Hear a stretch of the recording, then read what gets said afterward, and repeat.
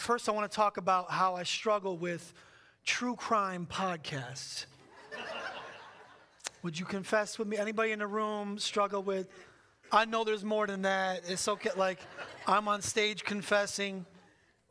I travel a lot for my job, and so I start out really holy. It's like worship music, listening to the Bible, uh, sermons, praise God, and then and then it's just theft and death and how they got away. like it's disturbing. It just happens. It's, it's immediate. I just I have a bathroom break. I get back in the car and it's death, and uh, I don't know what happens there. But I was listening to this one uh, one. It was a, it was a podcast, first season called "Good Assassins." And don't judge me yet. Don't don't judge me yet. Okay, you're like, how could that be? A Good Assassins is about this Israeli spy who takes down one of the most notorious villains of the Holocaust. Okay? So you were judging me first. You're like, how could he do that? He's a pastor. Now you're like, where do I find it? Where, where, is it Apple? Is it Spotify? So, so that's what it, it's, it's about a, a, a spy codenamed Mio. He's got a code name, which is amazing, who slipped into over 120 different identities so not only did he take down the butcher of the, hol- of the Holocaust, but he slipped into over 120 different identities over the course of his career. He's, he, he's known as one of the most effective spies in espionage that has ever lived. The plane. Do, do you know what his superpower was? Do you know how this, this guy could slip in and out of in and out of identities and, and not be known? His superpower was that he was ordinary. Ordinary was his superpower. He was a short, stocky, whitish, bald man. And if I just described you, I'm really sorry. If you're just, if you're like, hold up, does that mean I'm ordinary? I just, you'll be fine. Just live off the other encouragements that happened today.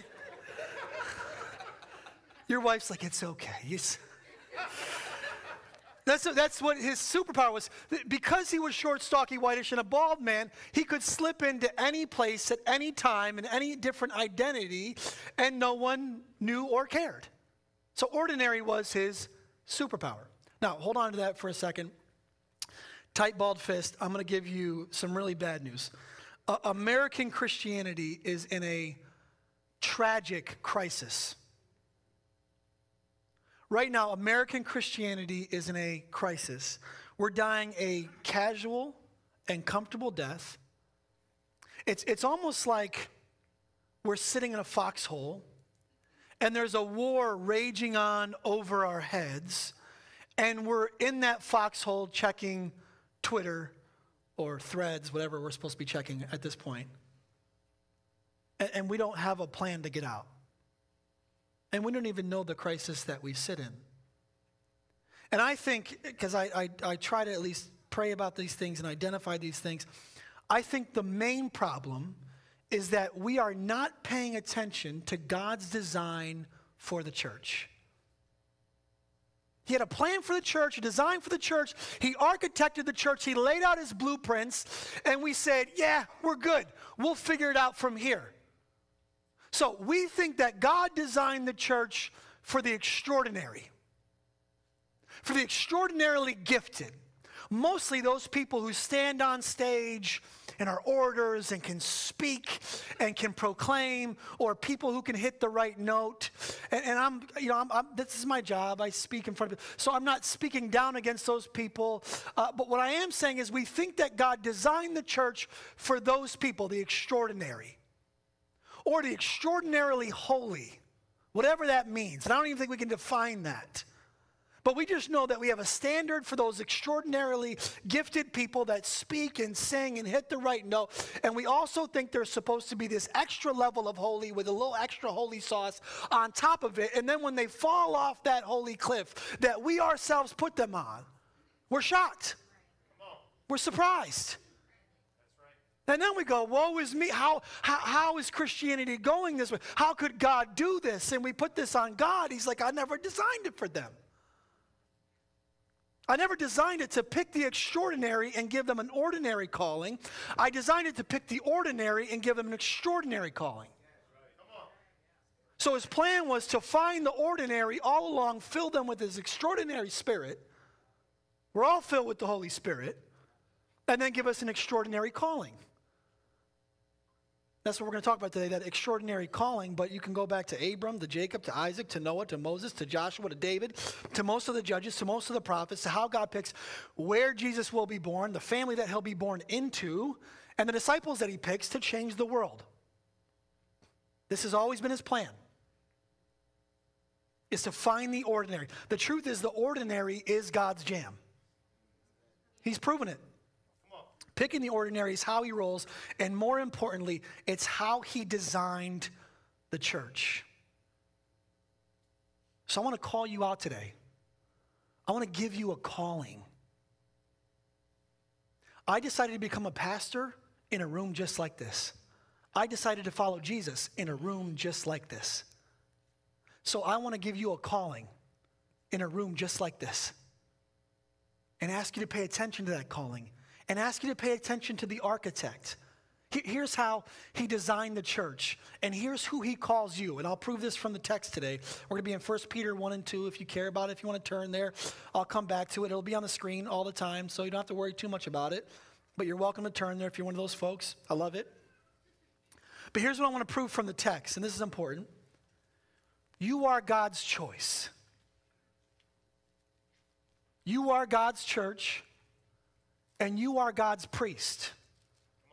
That last one might trip you up a little bit, but just stick with me. Uh, and I'll say this with the negative in tow because sometimes that helps. You are God's choice. It is not the special, it's not the extraordinarily gifted, it's not those who went to Bible school, it's not the men or women of the cloth. They're part of God's choice, but you are God's choice. You are God's church. And some of us know this. If you've been in the church for 20 minutes, you've heard this saying uh, the church is not a building, it's a people. It's a people, right? We know this. We can, we can regurgitate this if we've been in the church for a little while, but we're, we're, not, we're not acting like it right? We're not acting like we are God's church. We're not acting like the ordinary, the people of God, the chosen people are the fabric and the building blocks of the church. We still think the church is a building that we go to, it's religious events, it's things that we do, it's not who we are. So, you are God's choice. You are God's church. Church. Last one. You are God's priest. I know you're thinking, man, this dude is crazy. I'm not crazy. Ask my mom. Remember back in the day? Worked every time. You're like, ask my mom. I'm like, oh, shoot, my bad. No, I'm not going to do that. That's okay. I believe you. I didn't mean to summon the likes of your mom. I'll prove to you what I'm talking about uh, through the text. Really, God is proving this to you. Really, there needs to be an identity shift. Okay? Or the church will continue to die. We'll continue to just build big buildings in the suburbs. People will come to them and consume and go home, and things will be pretty much the same. If there's not some sort of identity shift, it's kind of like I am not a suit wearer. I'll put on a suit if I have to for my job, for a wedding, for a funeral, for a thing, and sometimes I need to put on a suit. But I am not a suit wearer. Because as soon as it hits 1 p.m. and the thing is over, your boy is in sweatpants. I mean, I can't get in sweatpants faster because I hate wearing suits. Because I'm my identity is not that I'm a suit wearer; it's that I'll put on the suit. And, and my point is that for centuries, we have put on these suits. Okay, yeah, we're the church. Okay, yeah, we're chosen. Okay, yeah, the church is not a building, it's a be. Okay, yeah, we're the priesthood of all believers, the Bible says. Okay. But we haven't had an identity shift. We're just wearing the suit from time to time. We're not suit wearers. So, my, my point is that we need an identity shift. It needs to go all the way in. We need to have a full 360. We need to be transformed by the Holy Spirit, all of our heart, all of our mind. Um, let me just give this example. Like, uh, we know that the church is not a building, it's a people. However, COVID hits, there's no more buildings. We can't go there. And 30% of the people leave the church, and they never come back. Because the church was not a people to them, it was a building. So we knew it in our minds, but there was no identity shift, okay? So I'm convinced if we would step into, if, if God's ordinary, all of us, would step into the extraordinary calling that we have, I am convinced that we would change the world. I'm not speaking in lofty rhetoric or hyperbole. I'm not just trying to get you hyped up. I'm trying to say this is God's original design so if we would just be obedient, his plan is to change the world. If we will be disobedient, we won't change the world. Let's talk about 1 Peter before we read it. Let's talk about the people of 1 Peter. Look, whenever you're reading the Bible, I'll just give you a quick couple notes here. Whenever you're reading the Bible, the messenger matters, okay? who's writing matters, and who are they writing to? That gives you the context. The Bible is 66 books. It's written over thousands of years. There's lots of authors. There's lots of context. You don't want to get confused. All you got to do is simply figure out who, who is the person writing to and who's actually writing it. So let's talk about the who of First Peter. The who of First Peter is there's a guy writing it down. His name is Silvanus. He's not that important. He's just Peter's friend. Peter is the important person giving all the, all the words and the ideas. Okay, Peter is one of Jesus' inner circle. So Jesus had 12 disciples. It just means follower or pupil or, or student of Jesus. He had 12 of those, and he had three inner circle. And Peter is one of those inner circle pe- people. Uh, by the way, I just sometimes we say Peter and people quick. I was doing devotions with my kids one night. I said Peeper, uh, and they have they have never let me down. They're like, okay, Peeper. I'm like, relax. We're trying to pray, okay? So, Peter is one of the original three, all right? And who he's writing to is super important. He's writing to some Jews, yes, but mostly he's writing to the Gentiles. The Gentiles. Now, Gentile is an identity, it means nation. But more importantly, in this context, it means nation who's not somebody else. You ever been an identity that was, it was, it was so degrading, it was just that you weren't somebody else. That's who the Gentiles are. They're not Jews. That's how degrading this is. You know, I kind of think of that Aladdin moment where he's like, infidel. Like, that's where 11 times in the Bible, when it says Gentile, it just means heathen. Right? Th- these people, just picture this. You can picture this today with me if you want to. Uh, they're going to the temple, they have to go into a different door to worship God. They have to go in through a different door. That'd be like us telling some group of people, I want you to go through a different door if you really want to worship God with us.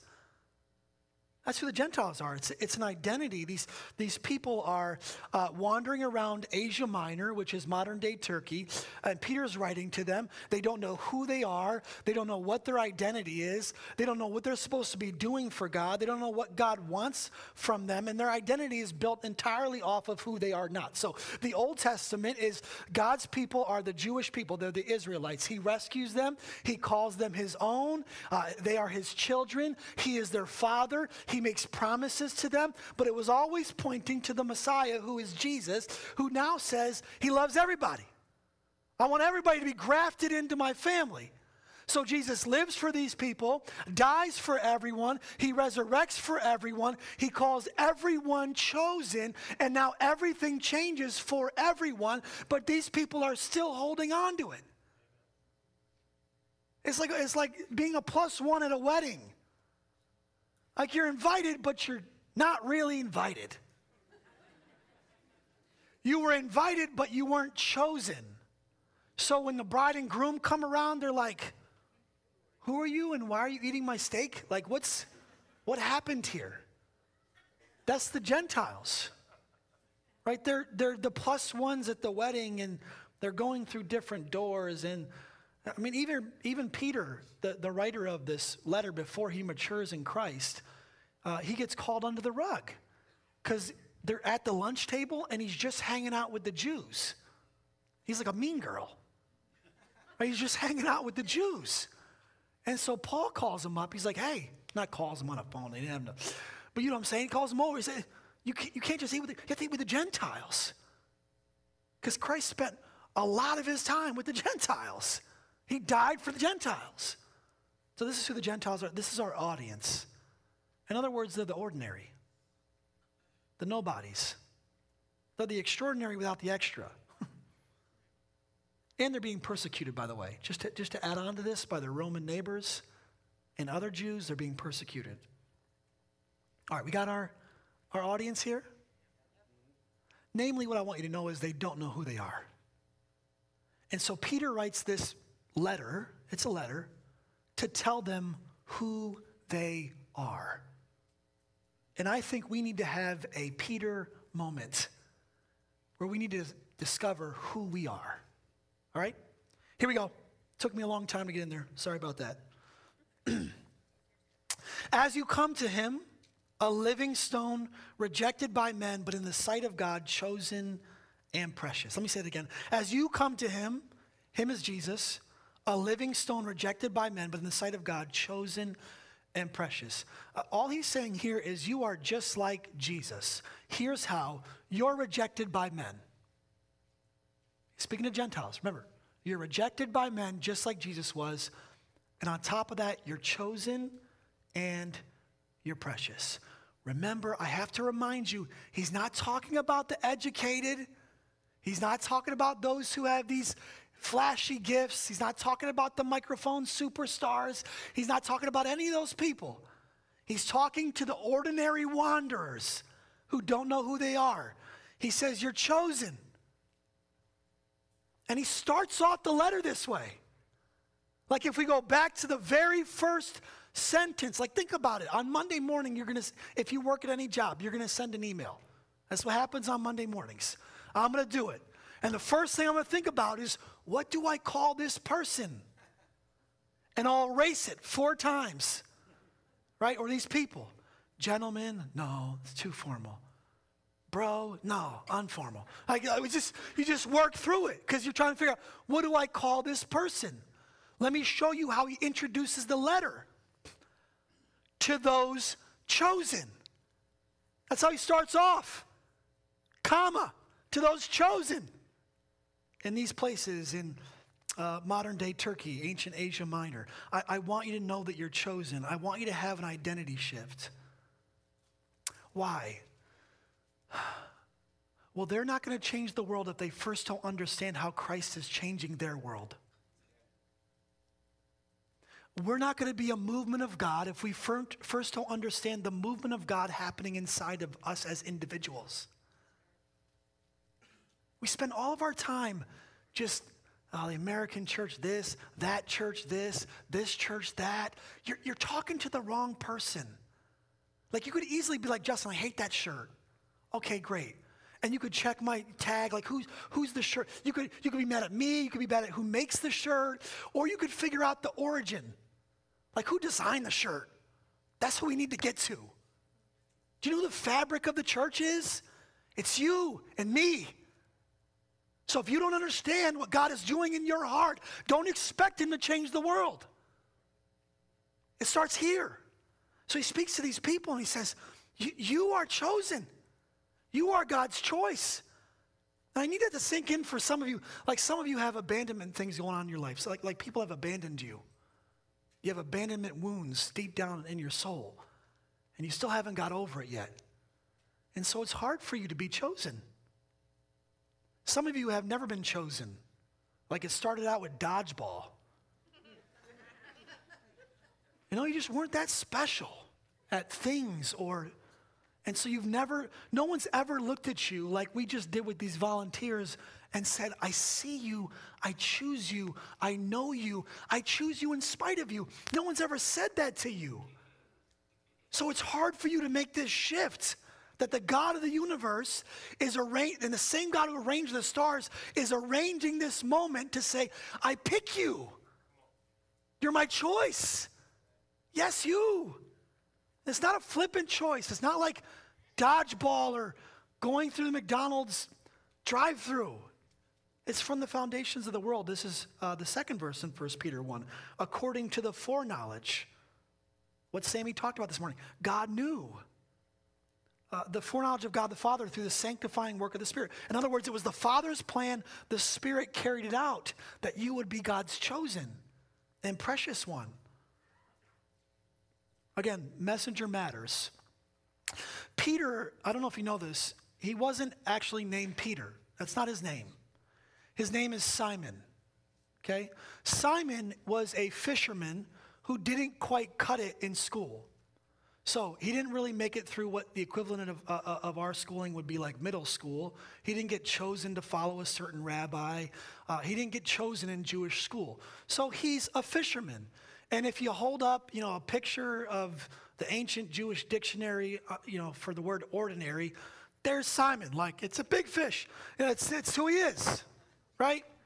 That's who he is. And then an extraordinary rabbi walks by his boat one day and looks at him in the eyes and says, I choose you. That's hard for him to get. But he says, I choose you. And so he follows this rabbi. That rabbi's Jesus. And Jesus lives for him and dies for him. And then he, he talks to Jesus in resurrected form. And that'll just do something to you, right? And somewhere along the way, Matthew 16, Jesus goes, Who do you guys think I am? And Peter goes, You're him. You know what the kids are saying these days? He's him. Peter said, You're him. You're the Messiah. And so Jesus gives him a nickname. What's the nickname? Peter. Called the Rock. All right? Which is before Dwayne Johnson. This dude was the Rock. For real, for real. Okay? This dude's the Rock. It's a great nickname. Now, here's the, here's the crazy part no one even remembers his old name. No one even remembers. Like, if, if it wasn't documented and I didn't tell you, I'd be like, what was Peter's name? You'd be like, I don't know. You try Googling it. Chat GBT or whatever. You just be like, well, how do I find this? No one knows his old name. In other words, who he is now has eclipsed who he once was. So, who he is now, someone who is chosen, someone who is picked by the rabbi, by the rabbi, by the Messiah, has eclipsed this person who was under the dictionary as the word ordinary. Uh, back in college, I was a freshman and I got a nickname Juice. And it's a good nickname. Juice is a good nickname. It could, it could be a lot worse, y'all, okay? As a freshman. So the problem is, people always ask. It's one of those nicknames people always ask, How'd you get that nickname? And the story stinks. So that's the problem with the nickname. Because, like, the story goes uh, I'm a freshman, I played college soccer, we're on a bus, we're going somewhere far away, and a senior is like, Let me get some juice. I'm from New York, y'all. We don't, we don't share juice. You're not, you're not over here lipping my juice. You know what I mean? Like, if it's my juice, I earned it, it's my juice. You know, it's like, get your own juice. So that's what I said. I said, get your own juice. He's like, what do you mean? And now three or four people are on the bus, like looking at me. What you, what you mean, get your own juice? I'm like, I'm not from the Midwest. I don't share juice, okay? So for me, this was it. I, this was like, this was gospel for me. So I'm just telling like, this is my juice. Like, get off me. So I'm, I'm, I'm all hot about it, hence the nickname Juice, you know? the story's so stupid, you know? Like, why'd you get the name Juice? It's because you're big muscles? No, it's because I didn't give someone juice. You know, it's like stupid. But here's the thing like, if you ask someone from that college what was his name, they wouldn't know. They wouldn't know the name Justin. Like, the, at some point, the name that you're given eclipses your old identity. And that's what has to happen here. Like your new identity as the chosen one, as someone who is chosen, as a choice made by God, has to eclipse your old identity of I'm just someone who's kind of ordinary and is going to sit in the back and maybe just take in some of the church. Like God is choosing you to be a part of the church. He's choosing you to be his missionary, his priest, his chosen one. Let's unpack some of those. First, though, you are God's choice. Back to our main scripture. As you come to him, a living stone rejected by men, but in the sight of God chosen and precious, you yourselves, like living stones, are being built up as a spiritual house you yourselves, like living stones, are being built up as a spiritual house. Now, here's what God wants you to picture one, that you're chosen, and two, that you are the fabric of the church. You're the makeup of the church. Not a building, not a place, not an event, not a program, not where there are religious people that are going to conduct a religious service over you. No, you are the fabric. So he wants you to close your eyes. Maybe you, you don't have to close your eyes with me, but you, if you can picture it with your eyes open, that's fine too. He wants you to picture this a temple, a spiritual house, a spiritual building. All right? And I'm no architect. Matter of fact, most things that I build are crooked. Uh, most things that I hang up are crooked, or they're missing a leg, or I assemble something and there's like 15 screws left over, and I'm like, what the heck? Where do these screws go? Maybe you're like that. Okay, that's me. So I'm no genius at this, but I do know ancient architecture, ancient building practices, is you find the best, most perfect stone and you lay it down first. It's called the cornerstone. It's called the capstone. And then every other stone after that is laid to that level. It's laid because of that. It's laid uh, basing everything off of that simple cornerstone. Now, Jesus is called the cornerstone 11 times throughout the scriptures and just three verses later from what we're talking about. He is the cornerstone. And what he's saying is, I'm going to build a new church off of me, off of my truth, off of my good news. And that new church, you are a living stone.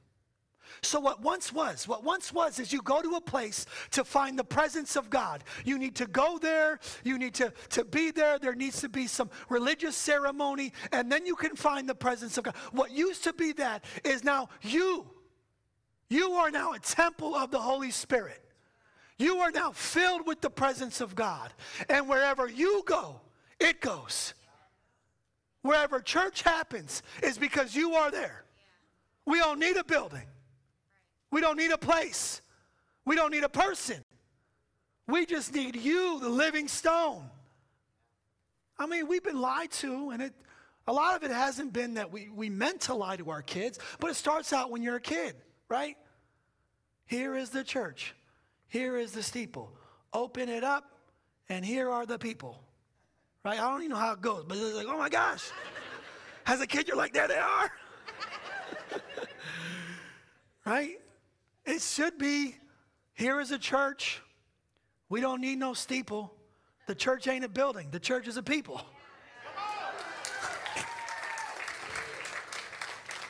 Bars, you know?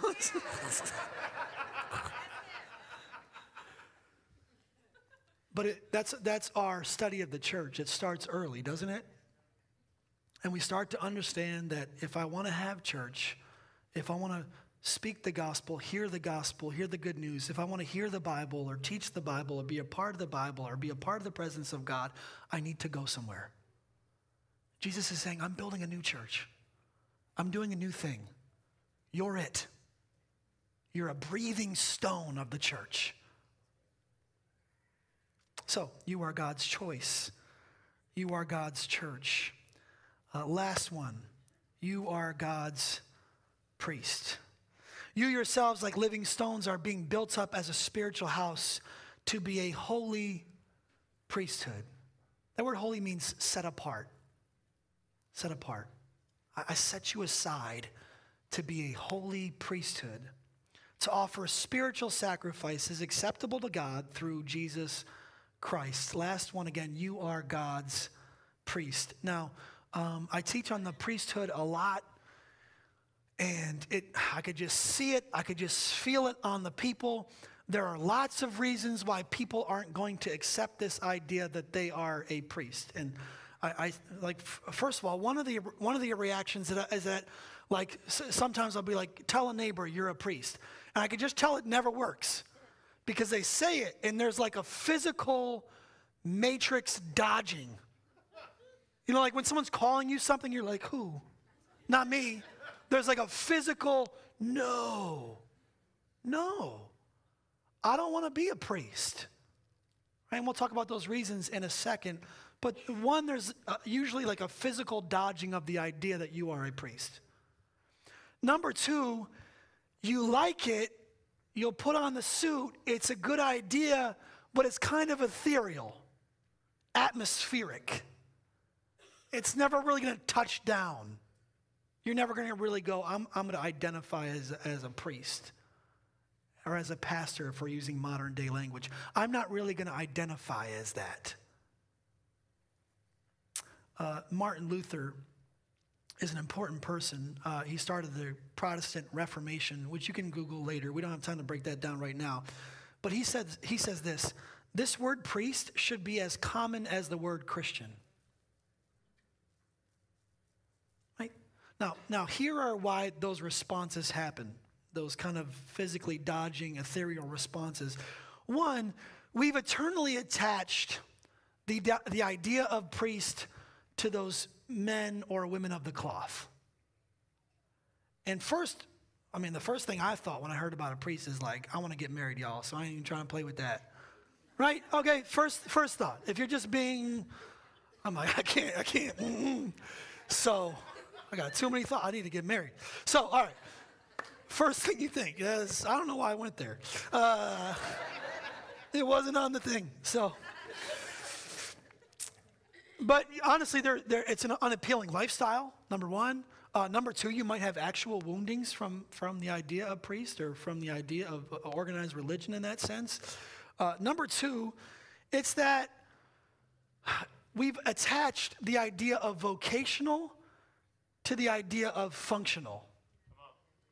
Okay, so the Bible talks about both. Yeah, there's vocational, but there's also functional. So think about the term missionary. In the Bible, there are vocational missionaries, right? Peter's one of them. He gets paid to travel the world and speak the name of Jesus and start churches, etc. It's his vocation, it's his job. But there are functional missionaries. God tells us that we should all be on mission. We should all be heralds or speakers of the gospel. Storytellers is your language. We should all be that. We don't just need them in Africa, we need them here. So we can't just go hiring everybody to talk about Jesus. That makes no logistical sense. We need functional and vocational. And we, we've attached those things for, for centuries. But God wants us all to be functional priests. Every single one of us. Uh, now, I need to make that really simple because Again, it, it's complicated. Uh, all of us are, it's still ethereal for us, it's atmospheric. I want to bring it down to the most practical level I can and then just talk about you, and that's how we'll end. Here we go. Here's what a priest is you are called to be a carrier. You're a carrier of the blessings and presence of God. So let me just break that down. You are a carrier of the blessings. Think about some of the blessings the mercy, the grace, the forgiveness, the love of God. That's what you are. You hold on to that. You know it, you feel it, it's been a part of your life. God picked you up, He turned you around, He set your feet on solid ground, and that's how you know. So that love of God lives inside of you. And you're not supposed to keep it for yourself. How selfish would we be if we're like, God, transform my life? Thank you keeping it for myself. My juice. huh? But many of us do that because we think that it's other people's job to be the carriers of that blessing. It's vocational. No, no. You are called to be a carrier of those blessings. You are called to be a presence. Remember, you, can, you are called to be filled with the Holy Spirit. Galatians, Ephesians, you're called to keep in step with the Holy Spirit, to dance with the Holy Spirit, to make sure you know where the Holy Spirit's going, how He's filling you, and what to do about it. That's you. You're chosen to be filled with the Holy Spirit and to be the presence of God to the people around you. Now, here are the three categories I want to put these in, okay? You're called to be a carrier of the blessings and the presence to your people, places, and platforms. All right, is that memorable? Y'all love language around here, okay? Y'all love to have crazy good names for everything, okay? So here's, I'm hoping this, this is not gonna be Soma City level, okay? I'm just trying to be with you on your level. But here it is. You're called to be a priest to your people, your places, and your platform. Okay? So your people, you know those people. I don't even need to say their names. I don't need to ask you about them for 20 minutes. You could write them down right now. There are people who need the love of God in your life, and they're in your life. You can think of them. And they're broken, they're brokenhearted, they're lost, they're anxious. Sometimes they're not, but you just know because of their proximity to you, you're supposed to be their priest. And if you spend all your time trying to bring them to Sammy, Sammy's going to move to San Diego. he ain't got time. It doesn't make any logistical sense. This is why God did this. It doesn't make logistics. It doesn't make, I don't is logistical a word? Yes, okay, super smart. Uh, it doesn't make logistical sense to bring everybody to a place. It does make sense to make you a living stone breathing the presence of God, the blessings of God to those people. Who are they? Write them down. And here's the best place to start another P pray. Pray for them. Y'all, I'll be in a conversation with someone on the plane. I'll just go, God, will you give me a moment to talk to them about you? Most of the time, He does. Just pray. God, how do I bring this? How do I bring you to this person? That's where you start. Okay, your people, your place. Where is your place? I always say this because I, I, had this moment back in the day. My wife came from, home from work. She, she works in the NICU, and she was, you know, she wasn't breaking HIPAA or anything like that, but she was just breaking down some of the moments that she had with people throughout the day. She didn't say people's names or nothing like that, but she's saying, I got to love these people. I got to pray for these people. I got to be around these people. And all I could think is, you are a better priest than me. Because I sit in an office and I craft a talk and people are going to judge that at Bob Evans on the way home. Like, that's what, that's just not as powerful as people are in the infant ICU meeting a person who has the presence and blessings of God. Not as powerful. So, where's your place? If it's not a job, is it a playground? Is it a kid's sport? Like, my place is soccer. I'm with those people all year round. Huh? I'm tired of them people. Again, because I'm an introvert. But God, those are the people God gave me. That's the place. Soccer, we're, we're with each other constantly. They're yelling at their kids, and I'm like, okay, they definitely need Jesus. All right, you know what I mean? People, place. Write down two places neighborhood, job. Uh, last one, platform. Platform is just another word for, and it's because I needed a P. It's just another word for influence. God has given us all a level of influence. So, where is that level of influence? Like, I always think about this. What if Beyonce loved Jesus? I mean, because she's been given giftings that if she gave back to Jesus on that platform, that'd be, that'd be something else.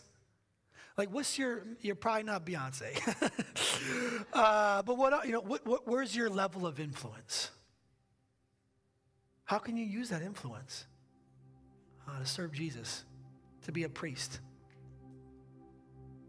Yeah, I know this isn't the greatest or, or most attractive message that you're a priest. But like I said, if we would all just buy into that we're chosen, that we're God's choice, that we're God's church on the move, that we are his priests spreading out like a virus, I just think everything would change. So that's my plea to you this morning.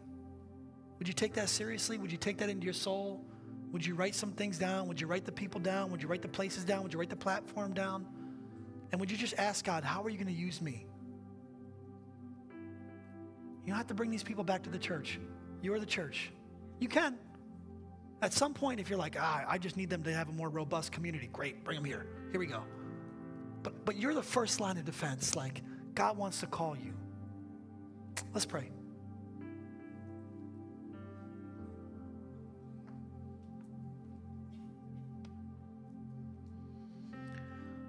God, I just think about this moment um, where I sat again in a room just like this, and I, I couldn't believe the God of the universe would call me out and speak directly to my guts and say, I choose you, I want you to do A, B, or C. I, I couldn't believe that you would do that. Now I believe that you do it all the time. And so I'm asking you to do that in this room. Because something happens when the people of God get together. Something happens when the people of God get together.